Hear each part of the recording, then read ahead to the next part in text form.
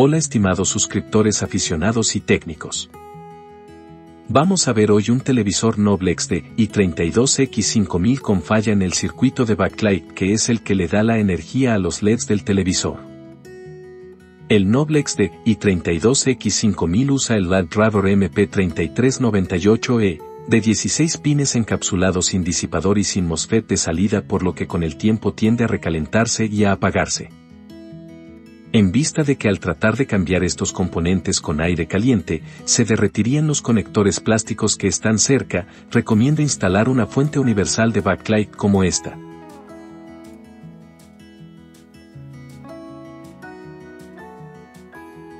Yo uso solamente dos contactos, BCC y tierra que son estos de acá 12 voltios y chasis.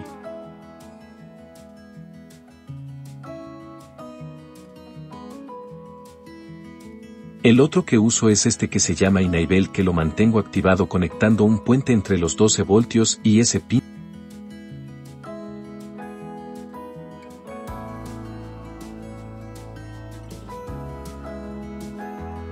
Así automáticamente se encienden los LEDs al aparecer los 12 voltios activados al encender la fuente. La otra conexión es la salida de los LEDs negativos y positivos.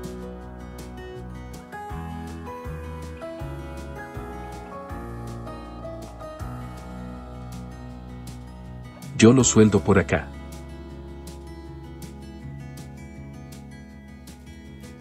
Este sería el positivo igual que este, y cualquiera de estos sería el negativo. Hay que tomar en cuenta que debe ser menor de 85 voltios el conjunto de los LEDs.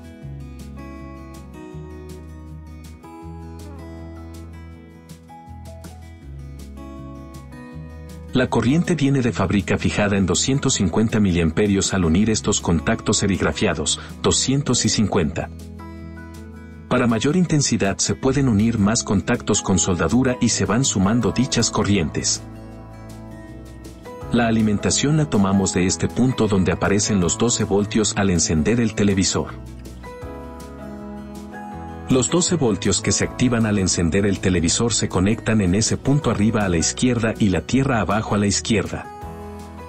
Aunque la plaqueta tiene un contacto más que esa T-J, yo lo dejo sin conectar sin problemas. Acá tenemos el grupo de lámparas que usa este modelo Noblex.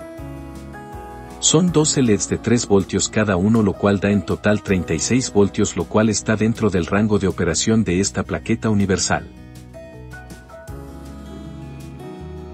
Este componente, un MOSFET de potencia se calienta normalmente y necesita disipación haciendo contacto térmico por debajo hacia el chasis del televisor pero debajo hay unas soldaduras que no permiten pleno contacto físico con el chasis del televisor por lo que hay que cortar por debajo estos terminales e igualmente debajo de estos componentes.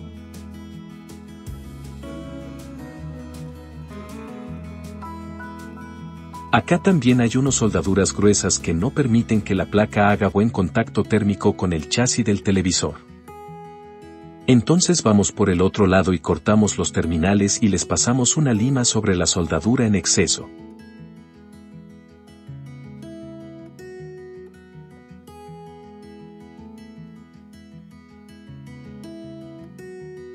Luego que les cortamos las puntas quedan más planas y le ponemos cinta aislante para que no haga cortocircuito con el chasis.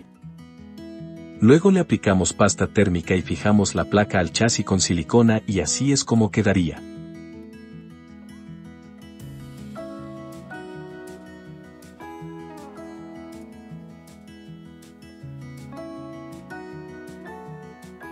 Si te gustó el video no te olvides darle me gusta o like, compartir y suscribirte ya que en breve estaré subiendo más videos relacionados con la reparación de Smart TV, gracias.